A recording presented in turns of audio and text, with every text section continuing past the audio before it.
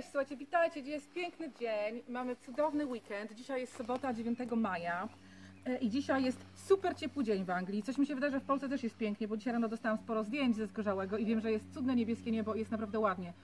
Tutaj jest około 22 stopni, jutro ma być 8 stopni, w poniedziałek ma być jeszcze mniej i mają być przymrozki. Także dokładnie jest jak u nas tutaj, jak i u Was w Polsce. Będziemy mieli e, bardzo mocne przymrozki na początku tygodnia i ja się do tego przygotowuję. Niektóre rzeczy nie muszę jeszcze robić. Na przykład zobaczcie, tutaj mam e, moje donice, które są naprawdę już gotowe do tego, żeby wyjąć z nich em, wszystkie rośliny cebulowe i przygotować do obsadzeń takich, wiecie, jednorocznych, jakieś pelargonie, jakieś szałwie jednoroczne, jakieś em, kocanki, ale na razie tego jeszcze nie będę robiła, ponieważ tą przyjemność zostawiam sobie na następny odcinek naszego, e, naszego vloga. Pamiętajcie, żeby e, oglądać następny odcinek, ponieważ będziemy właśnie mówić o tym, co robić z tulipanami po wykopaniu. Czy z, czy z donicy, czy z rabat ozdobnych. E, O tym będziemy mówić. Ale na razie tym się nie przejmuję. Teraz przygotowuję się do e, przymrozku, który będzie właśnie e, w poniedziałek i we wtorek. Także chodźcie do mojej szklarni, zobaczycie co teraz się dzieje. Teraz tak naprawdę troszkę tu się zmieniło. Pamiętacie jak sadziłam te dalie? One teraz pięknie kiełkują. Wiele z nich już ma bardzo ładne y, pędy, ale ta szklarnia, już jak też Wam mówiłam o tym, jest nieogrzewana. I też będzie przymrozek tutaj tak jak i u Was, więc będzie około 0 stopni, 2 stopnie przewidują, ale to może być o wiele mniej. W związku z tym ja teraz, zaraz Wam pokażę, y, wyniosłam wszystkie rośliny takie jak dynie, cukinie, e, kukurydza, To wszystko na razie stoi tutaj obok szklarni, ale już jest w drodze do domu. Dlatego, bo dzisiaj już wieczorem ma się zacząć robić zimno. Dzisiaj jest sobota, i, ale jutro już na pewno będzie zimno. W związku z tym teraz troszkę tutaj inaczej wygląda. Zobaczcie, co zostawiłam. Wprawdzie dalie też są, e, ma, nie są zupełnie odporne na mróz, ale te dalie, w związku z tym, że są troszkę wyżej, jednak są w szklarni, więc pozwolę sobie przykryć albo agrowłókniną ciepłą na lepiej kilka warstw, albo nawet nie wiem, jakąś pierzynę z domu przyniosę, ale po prostu nie mam miejsca na to w domu, wiecie jak to jest o tej porze roku. W związku z tym te dalie będą zabezpieczone i tutaj zostaną i do tych dali przytulę e, bazylię, której niedawno przepikowałam, bo one też są mało odporne na mróz. Tutaj jest piękny abutulon, e, klonik, który był przez zimę w domu, teraz go przycięłam od góry i pięknie się rozkrzewił, ale e, klonik, akurat ten jest bardzo, bardzo wrażliwy, więc ten klonik też powędruje dzisiaj do domu z powrotem niestety na parapet na e, 2-3 dni. No trudno, będzie musiał. Tą pelargonię zostawiam, tą pelargonię z tyłu również zostawiam i tą też, bo pelargonie nie potrzebują się bać e, przymrozków, szczególnie, że one już są tutaj w tej szklarni od kilku e, dobrych tygodni. Także pelargonię zostawiam. Zostawiam również różne, przeróżne odmiany groszków. E, To są groszki ogrodowe, dlatego trzymam osobno, bo to jest inna odmiana, to jest inna odmiana. Jak widać, ten jest troszkę wyższy. W związku z tym te sobie jeszcze zostaną tutaj. One oczywiście mogłyby być już dawno wysadzone do ogrodu, te groszki, ale nie ma miejsca, więc muszą troszkę poczekać, aż zjemy sałaty, aż zjemy em, brokuły gałązkowe do końca i wtedy dopiero je wysadzę na miejsce. I chciałam dzisiaj wysadzić, bo one mrozu się tak szczerze mówiąc nie boją. To są e, siewki, mówiłam Wam wcześniej, um, Calendula officinalis, czyli nagietek lekarski. Już super ślicznie będą, nawet same, same liście. Ale wiecie co, zobaczcie, one jeszcze prawie nie mają w ogóle tutaj e, korzeni. Są dosyć małe, więc nie ma co się spieszyć. Poczekam też z nimi, aż e, te przymrozki e, miną. Już nie będę na siłę tego wszystkiego wysadzać. Także to wszystko zostaje sobie tutaj w szklarni bez przykrycia. Jedyną rzeczą, którą będę przykrywała w szklarni, to są dalie i bazylia, a cała reszta sobie zostaje. A po przymrozkach, tutaj jest jeszcze por, który pikowałam niedawno. Po przymrozkach ten por, te, mm, tutaj te, te cuda, czyli te groszki i właściwie wszystko może już stąd wyjść na zewnątrz, żeby już się hartowało i to już będzie pierwszy krok do tego, żeby zostać wysadzonym do ogrodu. E, Słuchajcie, tutaj są te rośliny, o których chyba mówiłam, że one wy, wyszły dzisiaj sobie już ze szklarni, ale broń Boże nie do ogrodu, nie na zewnątrz, nie, hartuj, nie hartujemy ich jeszcze. Wyniosłam je ze szklarni, ponieważ za chwilę będę zanosiła do domu je. One w nieogrzewanej szklarni na te przymrozki, które się szykują, nie mogą zostać. I to są różne cukinie. Te cukinie, e, które mają takie żółte liście, wyobraźcie sobie, że to jest cukinia złota. Nie wiem, jeszcze nigdy mi się nie zdarzyło, że akurat te złote odmiany mają żółte liście. E, zaczęłam się martwić, ale tylko faktycznie te mają żółte, które są złotymi odmianami. Potem są cukinie odmiany normalne zielone, są gigantyczne, e, gigantyczne dynie, które będą akurat na jesień dla Alberta do zabawy, do wycinania. E, jest tutaj również, również są em, dynie piżmowe, ucikuri, a tutaj mamy kukurydzę słodką. Kukurydza słodka też powędruje na razie do domu, a po e, oczywiście 15 maja, po tej całej nieszczęsnej e, zimnej zośce, będziemy to wszystko wysadzać. Także nie mogę się doczekać, ale na razie, słuchajcie, nie ma żartów. Na razie nie ma żartów, nie ma sensu e, próbować przechytrzyć pogodę. Akurat takie rośliny jak pomidory, bakłażany, papryka, cukinie, ogórki, dynie i również kukurydza, te rośliny naprawdę boją się chłodów. Także bardzo, bardzo uważajcie, bo możecie stracić je. Także jeżeli macie nieogrzewaną szklarnię, to lepiej je chociaż porządnie przykryć albo zabrać. Ja swoje zabieram. A jeżeli chodzi o wysadzanie do szklarni, no niektórzy mówią, że na przykład działa e, coś takiego jak zapalenie znicza, wstawienie wiadra z wodą. Możliwe, ale ja nie mam w tym żadnego doświadczenia, także ja wolę poczekać i pomidory również do szklarni będę wysadzała dopiero po 15 maja. No ale to już jest za kilka dni, także poczekamy jeszcze chwilę. One spokojnie mogą sobie stać na parapecie, mogą być wynoszone, jak już będzie cieplej, w dzień na dwór, ale dopiero po tych przymrozkach zaczynajcie to wszystko hartować. E, Chciałam Wam pokazać, jak fantastycznie rosną warzywa pod em, agrowłókniną. Bardzo dużo mówię o agrowłókninie, ale w tym roku sama się naprawdę zdziwiłam, ponieważ pierwszy raz zastosowałam agrowłókninę zaraz po posadzeniu sadzonek. Tu jest jarmuż, tutaj są dwa, dwie różne odmiany kapusty, tutaj są brokuły gałązkowe, o których Wam opowiadałam wcześniej, zielone i purpurowe, pomiędzy tym sałata. E, Po pierwsze, ja już nie mówię o wzroście, bo są naprawdę są przepiękne i ogromne. Ta rabata była wysadzana w święta wielkanocne, tak? Także dosyć wcześnie. I zobaczcie, jak one pięknie wyglądają. Wszystko jest takie duże, ale też jest bardzo zdrowe, nie ma szkodników. Te kapusty, bo tutaj jest dosyć wiecznie, te kapusty mają piękne em, pędy, grube pędy, które nie są rozbujane, bo wiatr ich nie rozbujał, bo nie były wystawione na wiatr. Naprawdę, już nie mówię o tym, ja Wam pokażę za chwileczkę, jak wygląda jarmuż, który nie był przykryty agrowłókniną i do którego niestety, ale dostały się pchełki, bo pchełki, jak wiadomo, e, lubią rośliny kapustne. Ale zobaczcie, po prostu to jest takie szczęście, jak fantastycznie tutaj wszystko rośnie. Także dwa, dwie odmiany kapusty, ten piękny jarmuż rosyjski, który zazwyczaj mam problem z uprawą w ogrodzie, ponieważ wszystko mi go zżera, a tym razem jest no, coś wspaniałego, można już go spokojnie zjadać, tak naprawdę trzeba go zjadać, dlatego, bo on będzie wtedy odrastał, będzie miał kolejne liście. Sałata em, Lolo Rosa, którego też będziemy zbierać liście, tylko, o tutaj, o tak, zobaczcie już jakie ma duże liście. No to już trzeba zbierać, dlatego, bo potem ona będzie wytwarzała cały czas nowe, ale to już, to już się nadaje do zbierania. Także ja na chwileczkę teraz odsunęłam em, agrowłókninę, ale już się boję, już mam obsesję, że zaraz przylecą jakieś em, bielinki albo coś i, i złożą mi jaja na kapustnych. Także tylko pozbieram sałatę, a sałatę zbieram od dołu, zaraz Wam też pokażę. Tylko pozbieram sałatę e, i z powrotem wszystko przykryję. Tak jak Wam mówiłam, słuchajcie, jeżeli będziecie zbierać sałatę liściową e, tak od dołu, to ona będzie cały czas tak uski, uszczypywać ją dookoła pędu. Ona będzie cały czas rosła do góry i cały czas będzie Wam dawała nowe liście e, na dole. Będziecie mogli spokojnie co tydzień, co dwa w sezonie ją zbierać w ten sposób. I dzięki temu ta sałata będzie Wam dawała liście przez kolejne nawet dwa miesiące. Nie musicie nic dosiewać, nic dosadzać, tylko cały czas używać tą sałatę. I to jest sałata Lolo Rosa. To jest bardzo popularna również w Polsce, także spokojnie możecie ją uprawiać. A to jest sałata rzymska. Sałatę rzymską, Little Gem, możecie też zbierać całą główkę za jednym razem, ale jeżeli y, musicie ma- wziąć całą główkę do kuchni, to zdechnijcie ją troszeczkę wyżej i potem ona wypuści dużo małych, nowych sałat. Naprawdę to jest niesamowite, jak to działa.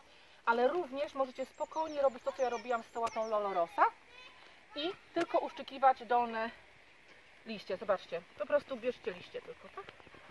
Te dolne liście. I to będzie dla rośliny bardzo dobrze, ponieważ ta, te, te dolne liście, one i tak szybko się marnują, bo one są na, na ziemi, one zaczynają pierwsze zmieniać kolor, czepiają się ich różne świństewka. Także jeżeli będziecie uszczyki, uszczykiwać od dołu, to ona będzie sobie pięknie rosła do góry i cały czas dawała Wam plony.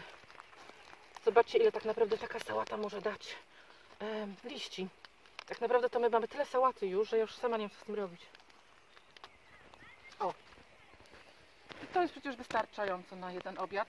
A ja zebrałam liście tylko z, tylko z czterech młodych sałat. Taką sałatę, jeżeli listki pozbieracie, to przynieście do domu i taką sałatę od razu włóżcie do miski, dużej miski zimnej wody. To ona wtedy nabierze tej wody i zrobi się jeszcze bardziej taka fajna, crispy, krucha, ale starajcie się nie pozostawiać jej tak po prostu, bo ona może po prostu zwiędnąć. E, potem możecie ją wyjąć, osuszyć i włożyć do worka, zamknąć worek szczelnie i na dolnej takiej półce w w lodówce. Możecie też zrobić takie coś. Ja tutaj mam na oknie taki bukiet, zobaczcie, z mojej pięknej sałaty. E, po prostu, jeżeli całą główkę sałaty bierzecie, to sobie wstawiajcie ją tak jak kwiaty do wazonu. Czy to, jest, czy to są szparagi, e, czy to jest właśnie taka sałata, spokojnie możecie w ten, w ten sposób ją przetrzymywać, może nawet brokuły. I na pewno ona będzie lepiej się czuła niż tak po prostu bez wody. Ale listki koniecznie zamoczyć w wodzie na jakiś czas, potem osuszyć i włożyć do worka, zamknąć i na dolną półkę do lodówki. Słuchajcie, nie wiem czy zauważyliście, ale u mnie w ogrodzie są różne rodzaje um, różne rodzaje um, przykrycia na rabatach wzniesionych. Są, jest tak zwany fleece, czyli po angielsku mówi się fleece, po polsku to jest agrowłóknina, ale mam również tutaj za mną, zobaczcie, David będzie obcinał, ogromny kawał zamówiłam sobie przez internet. Mamy również taką specjalną siatkę, o której często z Jackiem Wam opowiadaliśmy w, um, w, w podcastach. To jest taka bardzo, bardzo... Um, gęsta siatka, prawie jak firanka, która będzie teraz ochraniała moje y, plony od niechcianych szkodników. Od śmietki, zapomniałam jak się to nazywa ta, ten szkodnik, później znowu marchewki od e, połyśnicy marchwianki. Także wszystko to, co lata w powietrzu i potem może lądować na nasze, e, na nasze plony, wszystko to jest zamknięty dostęp dla nich y, do naszych marchewek, cebul czy kapust. Tak? Także to jest fantastyczna rzecz, jeżeli możecie to kupić. Wiem, że Jacek kupował to na AliExpress bodajże, Jacek Naliwajek, także on u siebie ma y, i na swoim Facebooku i również na Facebooku podcastowym dużo, dużo informacji na ten temat i dużo informacji na ten temat w, naszym, w naszych podcastach.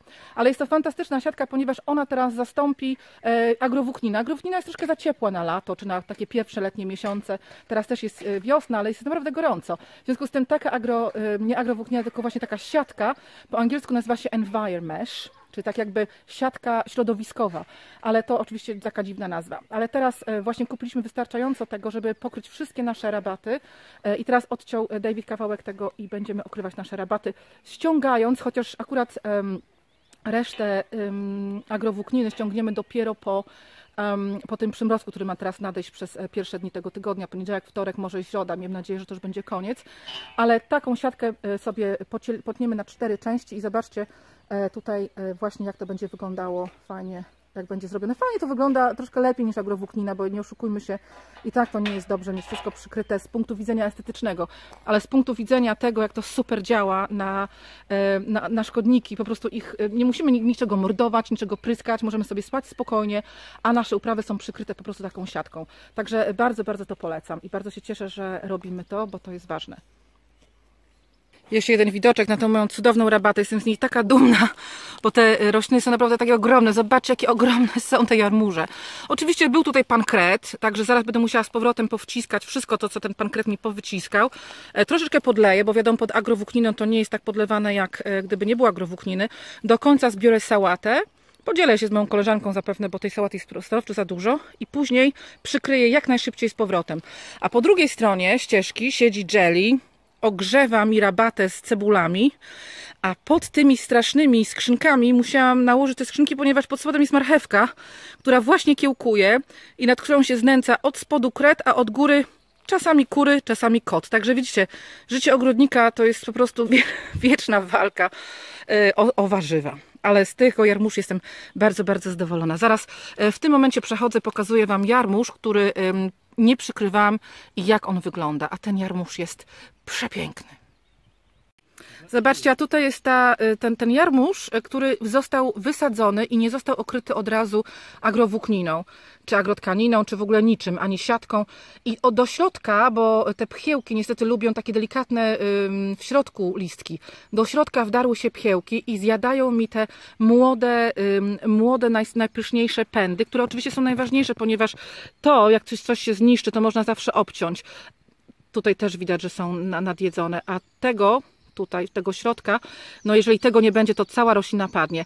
Ale przykryłam już jakiś czas temu to agrowłókniną e, i wprawdzie jeden tutaj jarmuż z tyłu widać poległ, o ten tam na samym końcu, ale te dochodzą do siebie, bo mają nowe, ładne liście, te zielone. Także jest nadzieja, że może coś z tego jeszcze będzie. Dlatego naprawdę e, niektóre rośliny są bardziej e, nieodporne. Na przykład ten jarmuż, w związku z tym, e, ten jarmuż rosyjski, z tym, że ma takie mm, pyszne, delikatne listki, nie tylko dla nas jest smaczny, ale również jest smaczny dla wszelkich innych żyjątek. Dlatego niestety ten jarmuż szczególnie musicie okrywać i pilnować. Jak widzicie w moich rabatach wzniesionych jest jeszcze troszeczkę miejsca, jeszcze nie wszystkie są obsadzone, ale już bardzo, bardzo gęsto są obsadzone. Tutaj po prostu wszystkie rzędy zostały wykorzystane. Groszek, potem koperek, potem bób, potem szpinak. Szpinak po prostu niedługo zostanie tak zebrany, więc on nie będzie przeszkadzał y, bobowi, że tak powiem. Tutaj z tyłu już są um, brokuły gałązkowe, y, purpurowe, o których Wam ostatnio opowiadałam, ale one już zaczynają kwitnąć, więc to tam do końca pozjadam co się da, a resztę zostawię, niech sobie kwitnie i będę miała na pewno dużo nasionek, więc gdyby ktoś chciał, to jak dam Wam znać, to możecie się, że tak powiem, zapisać na wymianę nasionek, bo zawsze na ogrodowej jesienią mamy taką wymianę nasionek. Zobaczcie, tutaj też agrowłóknina jest zdjęta i tutaj też miałam problem z piełkami. Tutaj jest dużo takich delikatnych e, kapustnych. Tutaj też są te duże liście, to są kalarepki i strasznie się wzięły właśnie pełki na to wszystko, ale po przykryciu tą agrowłókniną dosłownie na kilka, e, na, na, tydzień, na nie więcej, wszystko zaczęło się e, robić całkiem fajnie. Zobaczcie, tutaj z tyłu, zanim e, przejdziemy do tych ogromnych kalafiorów, bo tutaj są, są kalafiory, o których Wam już wiele, wiele razy wspominałam pod, tą, pod tym przykryciem. One mam nadzieję, że będą już niedługo dawać nam kalafiory do kuchni ale te tutaj jarmuże, pomiędzy tymi jarmużami, a tutaj kalarepką i innymi kapustnymi zostawiłam miejsce.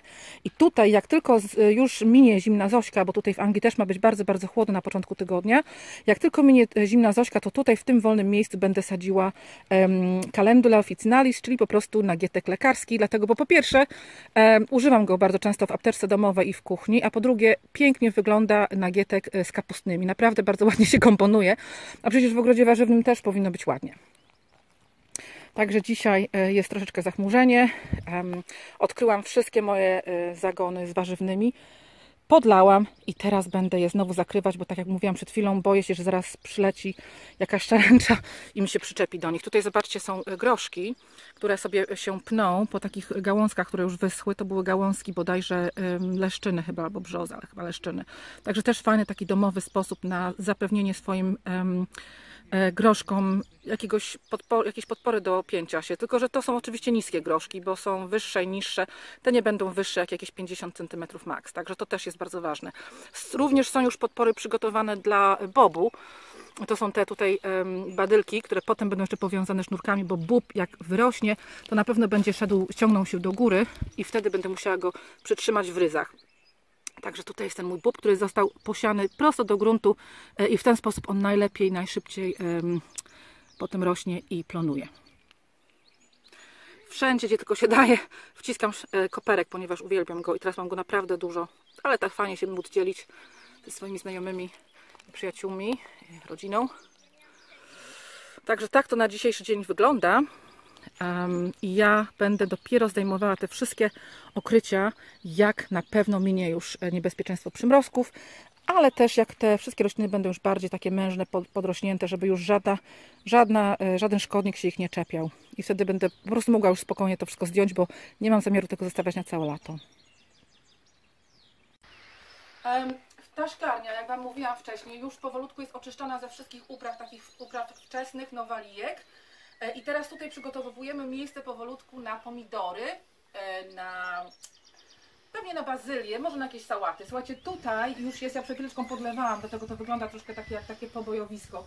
Tutaj już kończy się nam ostatnia, um, ostatnia, ostatni koperek. Ja ten koperek nie pozwoliłam mu kwitnąć. E, chciałam po prostu, żeby cały czas wyprodukował ziele, zielone części ponieważ ja cały czas te części zbieram i pomimo tego, że jemy je, to jeszcze przy okazji je mrożę. Także teraz po prostu wszystko już do końca pousuwam, poobcinam wszystkie listki, posiekam, albo nawet nie trzeba siekać, można tak po prostu wrzucić do e, opakowań takich, które zamrażacie do, e, wkładacie do zamrażarki i potem on się sam posieka e, dzięki temu mrozowi, co macie w zamrażarce. Pomiędzy są rzodkiewki, które to już są ostatnie rzodkieweczki. Powiem Wam szczerze, że uprawiałam w tym roku, odmiana tutaj jest French Breakfast i tu, i tu była odmiana krasa. Polska odmiana z polskiego sklepu, chyba z Obi.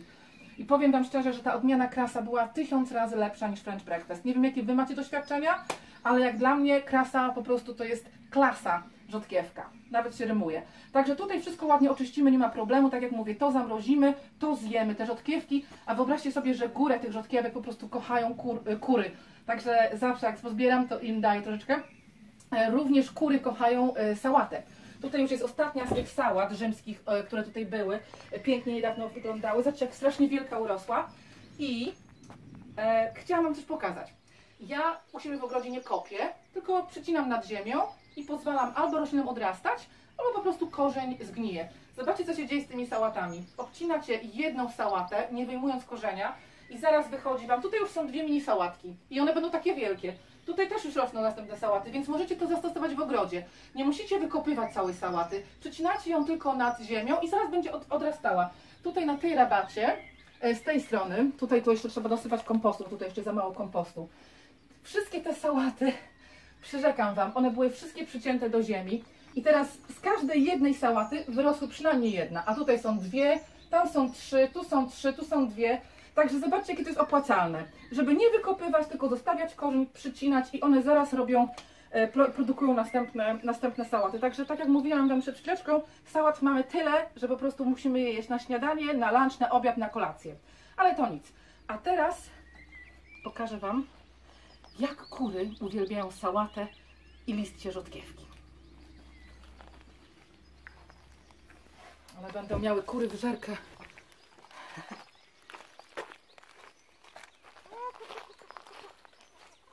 Proszę bardzo, sałata. Ah, yes, very nice. I listki rzodkiewki. I może trafi się nawet jakaś rzodkiewka, która jeszcze nie urosła za bardzo. O. O, masz na plecach, lasko. O.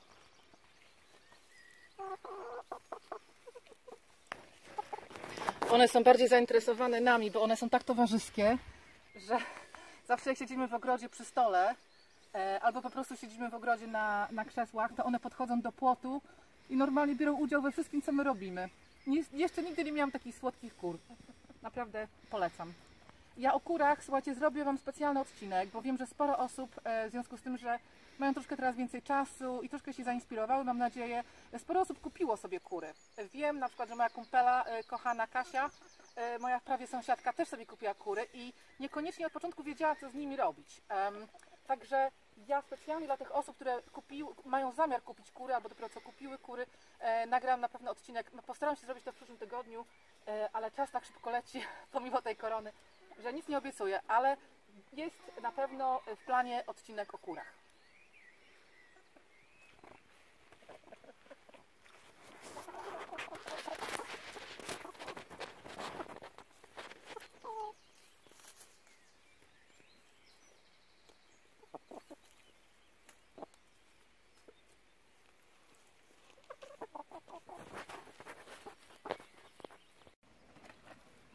Okay, can filming. Czasami się tak zdarza, że macie miejsce w ogrodzie i to tak powinno być. Chodzi mi oczywiście o ogród warzywny. I ja właśnie planuję też mieć miejsce w ogrodzie, dlatego przygotowałam sobie taki tutaj stanowisko, bo dzisiaj jest strasznie gorąco e, w szklarni, żeby troszkę tutaj popikować. Ja dosyć późno wysiałam, e, dopiero 19 kwietnia, dopiero wysiałam brukselkę, dwie odmiany brukselki. Ostatnio strasznie, one jeszcze były niedawno dosyć niskie, a potem strasznie wybujały do góry. E, Także dzisiaj przepikuję te dwie odmiany brukselki i jak tylko zrobi mi się miejsce w ogrodzie, tam gdzie teraz zbieramy por, który został e, wysiany zeszłego lata i wysadzany na jesień do ogrodu teraz on tak naprawdę już powinien być cały zjedzony, ponieważ e, zaczyna kwitnąć. Także w miejscu, gdzie jest teraz por, ja tego pora zjem, rozłożę troszeczkę przekompostowanego obornika, bo kapusty uwielbiają azot, a wiadomo, że obornik równa się azot. I do tego czasu te przepikowane sadzonki pięknie podrosną. One będą pikowane do takich doniczek P9 i wtedy powiedzmy za może za miesiąc, pewnie za miesiąc na pewno, posadzę te e, bruk, e, brukselki na tamtą rabatę. I to jest właśnie super, żeby można było w ogrodzie warzywnym robić sobie taką rotację, żeby nie było wolnych miejsc. A tutaj mam e, jarmuż e, Niro de Toscana. e, kupiłam ostatnio w sklepie spożywczym, bo wiecie, teraz wszystko tutaj pozamykane, ale natrafiłam na jarmuż Nira de Toscana w sklepie spo- spożywczym i teraz chcę go wysiać, ale on będzie wysiewany dosłownie dopiero w, w czerwcu i on będzie wysadzany na miejsca stałe dopiero we wrześniu. I on na przykład pójdzie, bo jest bardzo, bardzo dużo różnych miejsc już we wrześniu wolnych w ogrodzie, więc on pójdzie we wrześniu jako taka podrośnięta sadzoneczka takiej wielkości, pójdzie do ogrodu i wtedy oczywiście jarmuż, wszystkie jarmuże, jarmuż rosyjski, który uprawiam w ogrodzie, Wam dzisiaj y, pokazuję, czy ten jarmuż, jarmuż Niro de Toscana, czy jakikolwiek inny jarmuż, to wszystko spokojnie będzie Wam zimowało w ogrodzie i będziecie mogli przez całą zimę zbierać listki i również na wiosnę, potem wczesną wiosną. Także są rośliny, które spokojnie przezimują w Waszym ogrodzie. Na pewno jarmuże, tak? Może również, e, to na pewno będę Wam opowiadała, jak będę je wysiewała. Pewnie też e, pory, o których teraz Wam wspomniałam. Ale fajne jest to, żeby nie spoczywać na laurach, ale jak zauważycie, że jest jakieś miejsce w ogrodzie, to już zaplanować, że coś innego posadzicie, bo niektóre warzywa bardzo lubią y, chłodną temperaturę i spokojnie będą Wam dawały plony również zimą. Także na razie jeszcze tego jarmużu nie wysiewam. Będę wysiewała go prawdopodobnie w czerwcu razem z roślinami dwuletnimi, ale wtedy Wam na pewno o tym powiem. Em, Zobaczcie, tutaj mam e, bób. Bób będę wysiewał, bo tutaj są wszystkie moje nasiona, takie ładne kobiałce z Kaszub, oczywiście przyjechała z Kaszub kobiałka do, y, do Anglii. To są nasiona bobu i bób będę wysiewała co 4 tygodnie, aż do, y, aż do listopada. W listopadzie będzie mój ostatni siew. Nie wiem, czy w Polsce to przejdzie, ale kiedyś żeśmy to z gorzałem próbowali pod, dasz, pod takimi daszkami i to się udawało. Wtedy ten bób będzie o wiele, wiele wcześniej Wam y, rósł y, na wiosnę. Także cały czas w ogrodzie warzywnym coś się dzieje. A ja teraz właśnie mam zamiar tutaj w tych pięknych okolicznościach przyrody, za mną przepiękny e, głuk. Wiecie, głuk to jest mój ulubione drzewo, także tutaj tak sobie stanęłam przed tym głogiem. Oskar to jest na przylepkę, wiecie, on tutaj lubi e, zawsze występować e, w telewizji, bo jest po prostu takim kotem telewizyjnym. Ale generalnie do niczego innego za bardzo się nie nadaje, nawet em, myszy nie łowi, ale to nic, wybaczamy. E, Słuchajcie, także zaraz Wam pokażę, jak będę pikować brukselkę.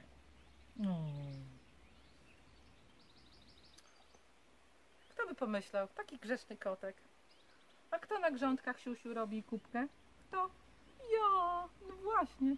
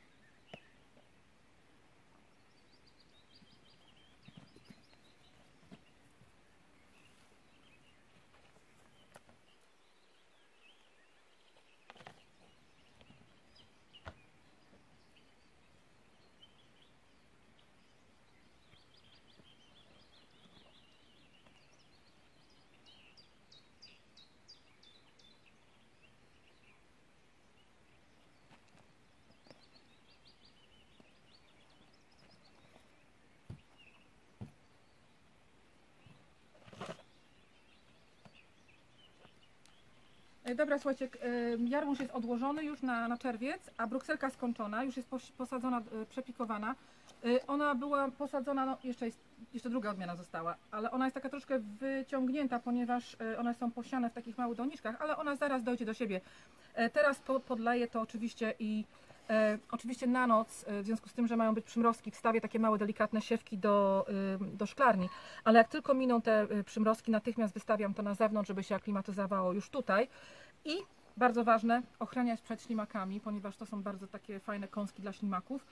I wyobraźcie sobie, że jak teraz to przepikowywałam, to to już pachnie brukselką. I to jest coś niesamowitego. Już jestem głodna, więc muszę zaraz zacząć robić obiad.